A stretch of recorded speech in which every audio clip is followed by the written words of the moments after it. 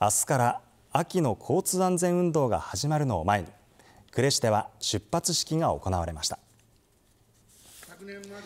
式には呉警察署の関係者などおよそ100人が参加しました。今年の県内の交通事故による死者は昨日時点で54人となっており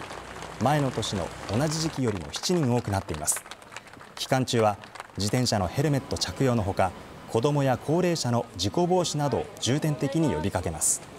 必ず交通ルールをしっかり守っていただいて怪我をしない運転自分の命を自分で守る運転にですね徹していただきたいと思います。秋の交通安全運動は明日から今月30日まで続きます